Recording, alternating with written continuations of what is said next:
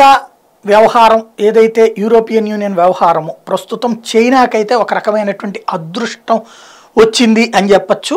ఎందుకంటే ఇప్పుడు క్రమంగా జరుగుతున్నటువంటిది భారతదేశానికైతే ఇప్పుడు ఓ పక్కన రష్యాతో స్నేహం చేస్తూ ఇప్పుడు ఈ ఆయిల్ విండ్ఫాల్ ట్యాక్స్ లాంటివి కావచ్చు అట్లాగే గ్యాసోలిన్కి సంబంధించినటువంటి కావచ్చు వీటన్నిటి మీద సీరియస్ కాన్సన్ట్రేట్ చేస్తుంది. ఫారెక్స్ రిజర్వ్స్ వీటన్నిటిని సెట్ చేసుకోవడానికి చూస్తుంది. అయితే చైనా ఇక్కడ తెలివిగా ఈ పరిస్థితిని వాడుకోగలుగుతోంది.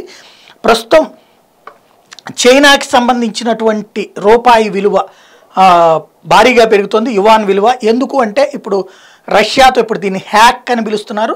రష్యాతో సమస్య తలెత్తినటువంటి నేపథ్యంలో రష్యాకి డాలర్ల రూపంలో పే చేయకూడదని అమెరికా యూరోపియన్ నాటో దేశాలు భావిస్తుంటే రష్యా ఏమంది? నా రూబెల్స్లో ఇవ్వమని చెప్పింది.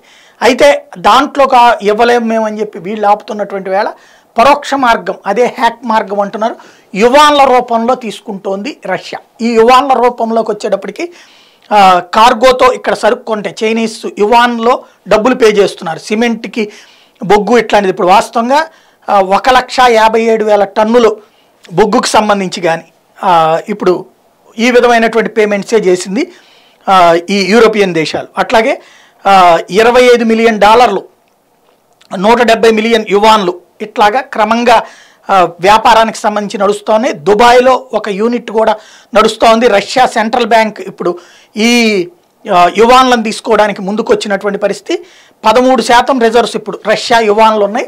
చైనా కి సం ఇదే సరే చైనాకి సంబంధించినటువంటి యువాన్లని రష్యన్ రిజర్వ్ బ్యాంక్ పదమూడు శాతం పెట్టుకుంది.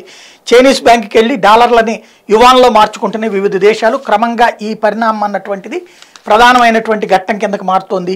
దీంతో తన అనుకున్నదొకటి అయ్యిందొకటి అన్నటువంటి కాన్సెప్ట్ అవుతుంది. యుఎస్లో ప్రస్తుతం దీని ఇంపాక్ట్ దీన్ని ఎలాగ ఫేస్ చేయాలో అర్థం కావట్లేదు. ఇప్పటికే Indonesia Malaysia Hong Kong Chile Singapore yuan రిజర్వ్స్ని పెట్టుకుంటున్నాయి. ఈ ఆరు కూడా కలిపేసి దాదాపుగా పదిహేను బిలియన్ యూనిట్లు యువాన్లని రెడీ చేసుకుంటున్నటువంటి పరిస్థితి. దీంతో డాలర్కి సవాల్ విసురుతోంది యువాన్. ఇప్పుడు ఈ యుద్ధ వాతావరణాన్ని అది క్యాష్ చేసుకుంటోంది.